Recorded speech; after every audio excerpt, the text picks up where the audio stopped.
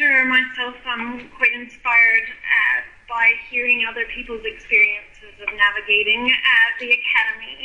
Uh, and I've had the great pleasure uh, of getting to work with our next speaker, Pamela Jane Smith, in many capacities, but she's been somebody who's inspired my interest in the history of, um, of archaeology, and that history helps to shape, I think, who I am today and learning from other people that have pushed the boundaries on the nature of the discipline, who have had major impacts on teaching and research and administration, as John Evans has, has had. And Pamela is, has created a, a, cultivated, I should say, a group of us and, who are all sitting in the same row as Pamela, Mara and Gabe, um, uh, where we have focused quite quite intently on the on the history of the discipline. And as part of that research, Pamela has often gone out and done um, oral historical work, recording um, the life histories, the personal histories of different um, archaeologists, some very well known and some not known at all, but who had a very profound impact on the nature of practice. And Pamela was involved in uh, interviewing Evans, I believe, as part of your PhD research, um, but it went on um, to having Stuart Laidlaw um, film uh, John Evans a couple of years ago. So that was the film that, that I showed at the beginning. And um, Pamela, I think, guided much of the work that, that Stuart did in filming there in terms of the questions and that. So I wanted to introduce you to Pamela, who's going to speak a little bit about documenting History and close off uh, with some interesting anecdotes, I think, about his time as an undergraduate. So thank you so much, Pamela.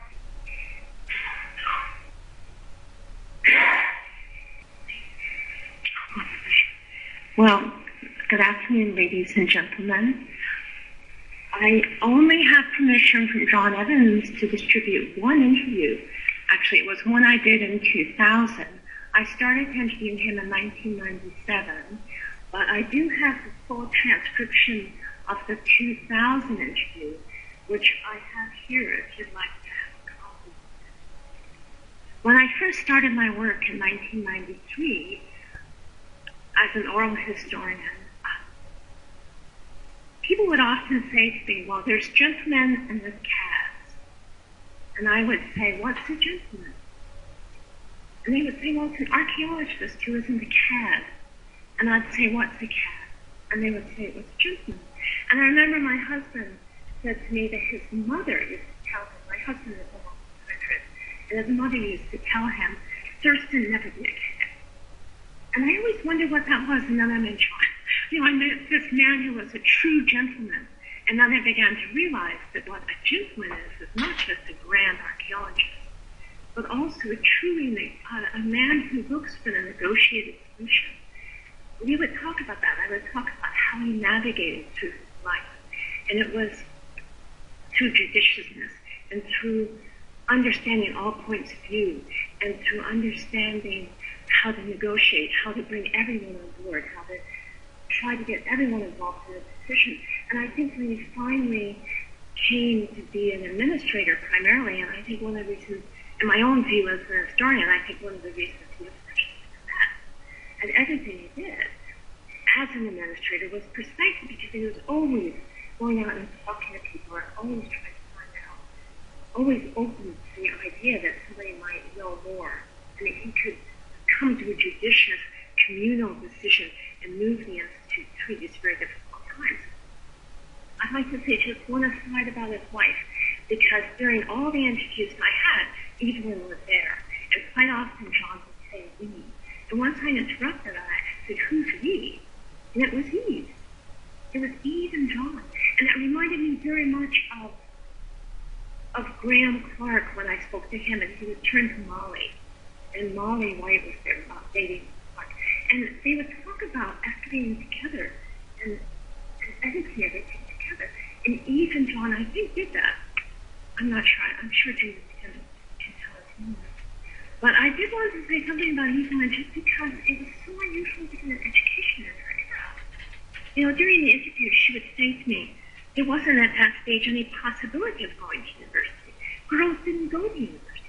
And she was among the three people So may I tell you, from the little bit I know of John and his gentleman, gentleman nature, I think would have wanted me to mention you. But may I move on to something that is very close to today because I've done a series of interviews about how WAC was developed. I interviewed people who were banned in South Africa. I did a number of interviews with David Lewis Williams. And you know that David, I don't know if you can hear me, but David at that point was not, was integrating his classes throughout apartheid. He was integrating his classes. And the secret police used to send people in with their guns. And they would sit in the back of the class where David Lewis Williams spoke. Then, of course, David was very hurt by the boycott, which my husband, of course, supported. And so I interviewed my husband about that, and he felt that had to be higher good, and of course he came coming back. So there was absolutely nothing that he could do.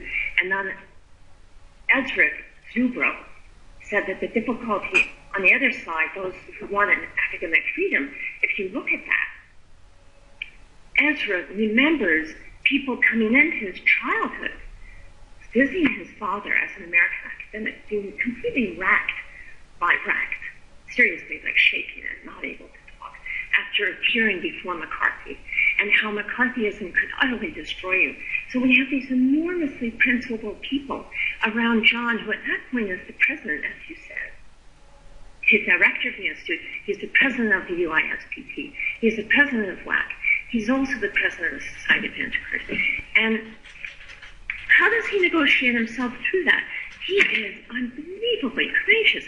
All his letters show that throughout he's saying, please, he's going to the committee in France and saying, please, take on board what the Africans are saying. You know, there's this wonderful letter that Todd has saved, thank heavens, um, where he says to the Central Committee, you know, if we don't take these people on board, it's going to be regarded in many quarters as biased. And that's why he resigns. This is the letter right here. That's why he resigns. He can't be part of the UISPP if they're going to be biased. Then he comes back and he talks to Peter, and he says, Peter Ucko, please, this is becoming too politicized. We're not choosing the middle ground. We're not choosing the, the, the way forward for all of us. And he says, it's becoming too, it's too much, and he resigns from WAC. So I, my major question, my last question to him was, how did a man of your dignity, of your style of leadership, which was never uh, self-aggrandized, you know, it's always let's negotiate. How did you deal with that? Because that split the community, and I know that people are still hurt by that. You never answered me. There was always a sort of sadness. But may I read from his undergraduate essay? This is John's undergraduate essay to Dr. Daniel. The conclusion of which is that despite the brilliance of the past, it is still possible to believe in a useful, vitally important future. This is when he's, what, 19? It can hardly be hoped that we will ever equal our brilliant past, but the subject is only young once, and we are only young ones. Now that the dreams of the systematizers have faded, as Telephone. You see, Telephone is part of the curriculum at that point. The content of life has to be our goal.